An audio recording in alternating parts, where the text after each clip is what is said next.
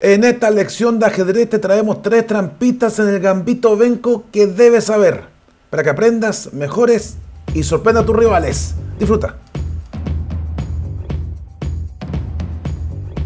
Hola amigos ajedrecistas, espero que estén bien. Aquí estamos con un nuevo video de Chess Tour.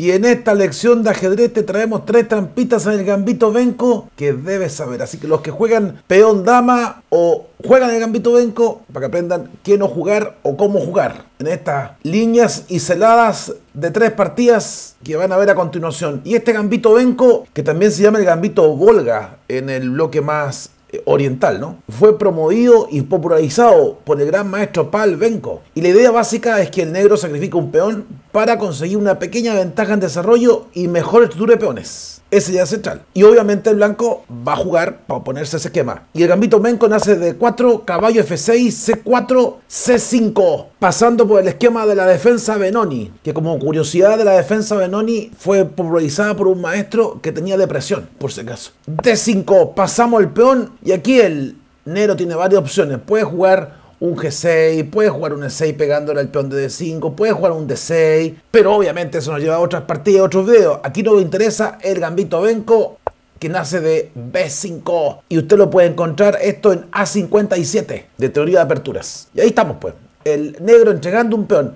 Ahora, toda esta idea se parece mucho también a aquello esquema del gambito del ala, de la francesa, de la siciliana. La idea es la misma, la posición es distinta, pero la idea es como similar. ¿Qué será lo mejor para blanco acá? Tomar, como dice Steinitz, morir lleno, como dice Korsnoy, o hacerle caso a Steinitz, como dice Chestur. Bueno, la idea principal es tomar aquí en B5. Otra idea podría ser jugar caballo de 2, otra puede ser jugar A3 y otra puede ser jugar el caballo F3. La que da más ventaja, según el módulo, es C por B5, tomando el peón. Jugar, por ejemplo, después de B5 alguna movida de desarrollo, por ejemplo, caballo de 2, probablemente le asegura el juego al negro. E4 hay que afirmar este peón, que es importante. E6 el negro empieza a agarrar papa y le pega el peón central. Alfil por peón, alfil E7, B3, la idea de fianquetársela por el flanco gama. Alfil B7, todos contra D5, compadre. Dama F3, cómo se afirma el punto. Enrobe corto, caballo 2, caballo A6 y una partida en que el blanco tiene una pequeña ventaja apertura. Pero fíjense cómo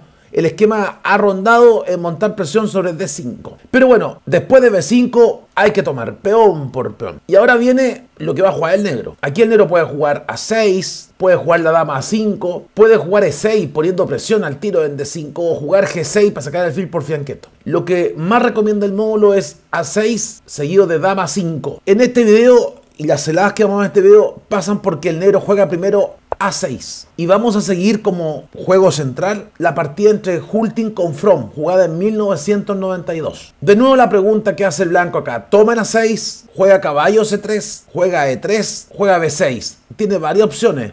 El mono recomienda tomar en A6, otro recomienda jugar el caballo a C3. En este video vamos a ver las variantes que nacen después de que el blanco juega el caballo a C3. Si eventualmente después de A6 el blanco come, que probablemente va a ser motivo de otro video, de otras partidas. El Nero juega E6, invita a cambiar piezas. La idea es que el Nero va a quedar con un centro de peones fuerte. Caballo C3, peón por peón, caballo por peón, alfil E7, caballo por dama por, alfil F4, D5 y después de 3 en rogue corto. Hay que sacar las piezas del flanco rey, caballo F3 para que el blanco pueda dejar a su rey en resguardo. Y el blanco con una pequeña ventaja apertura. Así que nada de mal. Pero después de A6 vamos a ver las variantes, las trampitas que nacen o que aparecen después de caballo C3. Y vamos a ver dos trampitas que surgen con peón por peón. Pero también después de caballo C3 el negro tiene otras opciones, como dama 5 o D6. Lo más fuerte, según el módulo, es jugar peón por peón. Pero ¿qué pasa si el negro no juega peón por peón? Juega D6. El tema es ser dudosa porque en el fondo abre esta diagonal contra el rey. Y eso le puede dar temas tácticos al blanco en algún momento. Contra D6, el blanco debe jugar E4. Buena movida. Defiende el peón de D5 agarra espacio en el centro, abre juego a su alfil de casilla blanca. Buen esquema. Y el tema que entonces ahora, peón por peón, no es buena, es mala. Después de 4, lo mejor que recomienda el modo en esta posición, en que ya el negro está quedando un poquito inferior, es jugar G6. El tema que después de A4, alfil G7, caballo F3, enroque, alfil F4, peón por peón, peón por peón, cambiamos torre, dama por torre y el blanco con mejor juego. Esa línea correcta que uno podría esperar de las variantes que surgen después de que el negro juegue de 6. Una ventaja para el blanco. Pero el tema es que si después de 4 el blanco toma en B5 con el peón, esa es mala. ¿Y por qué es mala? Hay dos ideas que vamos a ver acá y va a aparecer la primera trampita. Una es que el blanco juega alfil F4 y después de B4, pegándole al caballo S3, caballo B5, caballo por peón, era mejor jugar aquí G5, dame 2 y aquí el negro puede sentir que está tranquilo con caballo F6, pero esa es más mala que pegarle a la abuela. Después de dame 2, fíjense el recurso del negro, G5, buena movida.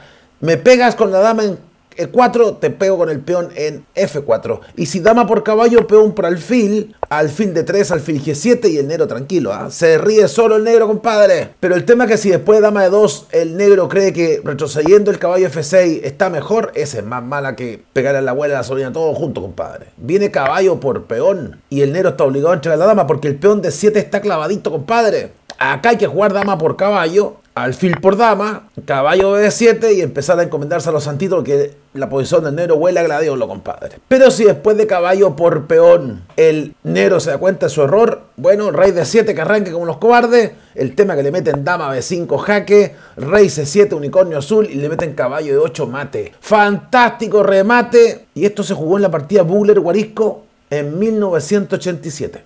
¿Qué me dice? Terrible, ¿eh? Qué matazo. Pero después de peón por peón en B5 del negro, más que jugar alfil F4, más duro es jugar alfil por peón. Pum, jaque. Al tiro, compadre. Alfil D7, alfil C4, G6, F4 y después de alfil G7, el blanco puede mandar tranquilamente 5 y voy a quedar con dos peones centrales potentes, el negro muy atrás y el blanco con mejor juego. Así que ahí tiene una variante que puede encontrar usted si es que el negro, después de caballo C3, juega de 6, ¿entiende? Pero vamos a entrar en la línea correcta que dice el módulo, peón por peón. ¿Qué puede jugar el blanco acá? Aquí lo correcto es jugar E4, pero también después de peón por peón del negro, todo este esquema es parte del sistema 6 del gambito Benco, ¿no? que usted lo encuentra en la 57. Una idea es jugar caballo por peón, y si le juegan alfil a 6, ojo, no hay que tentarse con E3, que es más mala que pegar a la abuela, porque le meten alfil por caballo y después de alfil por alfil, dama por alfil y se va la pieza, pues compadre. ¿Qué me dice? Y aunque usted no lo crea, esto ocurrió en la partida de Kirkenhoff con Foldy jugada en Dortmund en 1986. Pieza menos para el blanco, 1-0 para el negro. Así que ojo, después de A por B5, si usted juega caballo por peón y le juegan alfil a 6, caballo C3, pues compadre. Y tiene peoncito extra parece. ¿Qué me dice? Mejor, ¿cierto? Bien. Pero el tema entonces es que después de peón por peón del negro, acá, otra opción para el blanco es jugar E4. Ojo, E4 no es la mejor movida. ¿eh? El negro aquí puede quedar bien con B4.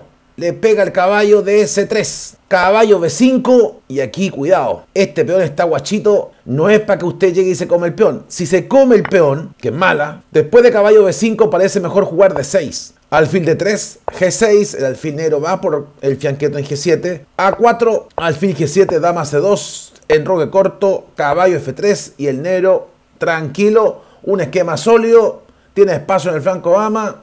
El blanco no tiene cómo progresar mucho. Algo mejor el negro. Pero si después de caballo B5 usted se pone goloso, como muchos que ven este peón y se lo comen, porque no ven nada raro. El rey está protegido, me como el peón y si me amenazan con dama 2, ¿Qué hacen? Mueven el caballo F6. Pero mover el caballo F6 es horrible, mala, po, compadre. Después de dama 2, otra opción podría ser, ah, juguemos F5. Pero viene F3, caballo F6 y te meten caballo de 6. Y caballo de 6 da jaque, cuida la casilla, y esto que mate. Uy, uy, uy, uy, uy. Por eso que después de F3 hay que asumir que está perdido el negro, se pierde pieza. G6, peón por caballo, buenas noches, pastores. Papita para. Pero después de que el caballo se ha comido el peón en E4, dama 2 es mortal, el caballo no puede volver, se podría jugar alfil B7, pero ya asumiendo que el negro está más tieso que perro muerto. Si el negro aquí juega caballo F6, como fue en la partida de Hulting con From, caballo de 6, mate. Un matazo de Hulting que destroza la osadía y gula del negro. ¿Qué me dicen? Tres trampitas en el gambito Benco que le pueden servir para tener cuidado en cómo jugar y estar atento a esos detallitos. ¿Le gustaron las trampitas? ¿Le gustaron? Deje sus comentarios, deje su like, le dice el video, compártelo con sus amigos ajedrecistas, enséñalo a su alumno un en su clase academia, suscríbase al canal de YouTube, invite a sus amigos a suscribirse en YouTube para que seamos 100.000, 500.000, un millón de suscriptores. Y se puede apoyar en PayPal, fantástico, porque así vamos a estar más tiempo y con la ajedrez para que usted aprenda más HC mejor y mejor en su juego. Y nos estamos viendo en otra lección de ajedrez. Que esté bien. Chao, chao.